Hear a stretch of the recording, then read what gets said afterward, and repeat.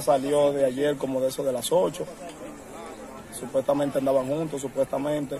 Entonces el cadáver de él apareció por allí, un guardia, él es guardia, él era guardia. Ellos acostumbraban a tomar, tomaban, parece que ellos salían. Son del mismo barrio, ya somos del mismo barrio. Entonces la mató y también la mató a él. De anoche para acá, nos pusimos a buscarla, todo el mundo a llamarla, no había comunicación con ella, ni por WhatsApp, ni personal. Le estábamos llamando, nadie se comunicaba con ella y empezamos a buscarla por todos los lados.